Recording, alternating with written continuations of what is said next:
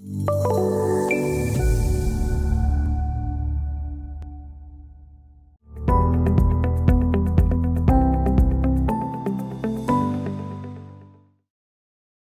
everyone, and welcome to the MicroStation Connect Edition visualization video series.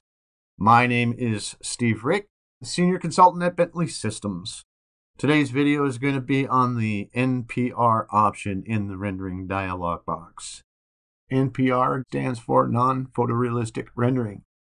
Now, when we come up into MicroStation, into our drawing, we're going to see our camera view again, as always. This is a nice view that we can render and we can do NPR effects on. There's not much that we have to do here. So let's go right to the visualization workflow, the home tab, and we are going to just jump right into render.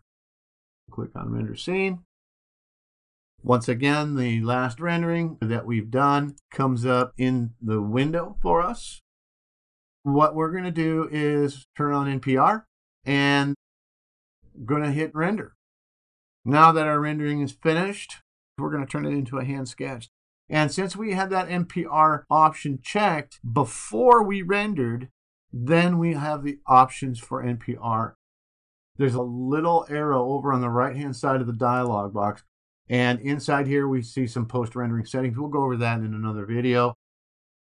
Well, now we didn't have relighting on. You see, I have no lights in the list for relighting. But we did have NPR effects on, and this is what we are going to take a look at. We have three sections here. This top one here that I select sets the processing shader and the processing outline by default. But I can then alter those. We'll go over a couple of them, but the best way to learn these, just run them and uh, see what they look like. I'm going to start with Japanese printmaking. Once we set that, all we have to do is come up to the top here. It says Apply NPR Styles on Rendered Image. Put that check mark in that box there, turn it on, and it does a little bit of re-rendering, but it is very quick. So we're not waiting any time at all. I like this hand sketch here, but I think the lines that outline the building are too big or too thick. So I'm going to change the thickness of the lines to 1. We'll let it re-render there. And that softens it a little bit. Maybe I want a 2. And that's just changing the outline around the edges here. Now this is Japanese printmaking. Let's play around with some other ones here. We can do combinations of these. Let's say I want to do kind of a watercolor. So that's large brush strokes. Now, it doesn't look like too much when it finishes here, but what we have to do is we have to combine it with the outlines. This by default doesn't have any outlines here, but it does give us a nice looking kind of watercolor texture. I can come down here to the processing outlines and I can choose an outline that I want. For instance, if I choose watercolor, now I have some outlines in here and a nice looking watercolor. I don't like the thick lines around here, so I'm going to change the lines to a 2 and see what that looks like. I'm going to change it to a 1. Every time I change a setting, it's going to re-render.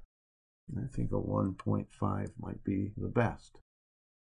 A little bit thicker, a little bit more outline, and then you can change whatever you want.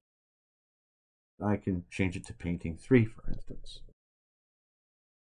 The thickness is set to 10. I like that 10 and I'm going to change it to a 2. And again, you can do any combination of any of these things here. Also to tune. So this is more cartoonish. Let's change the line weight to 1. And I can still see a little detail in the brick there, which is kind of nice.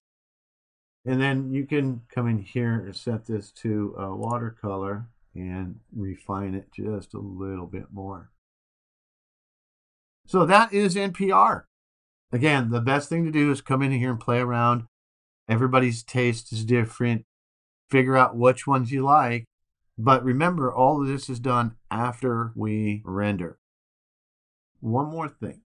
If I want to go back to my regular rendering, right, That's still in there. So I can just turn off apply NPR styles and I'm back to my regular rendering.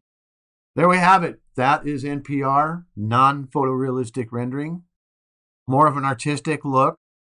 Thank you for watching the videos and come back and see me on my next one. Thanks a lot, everybody.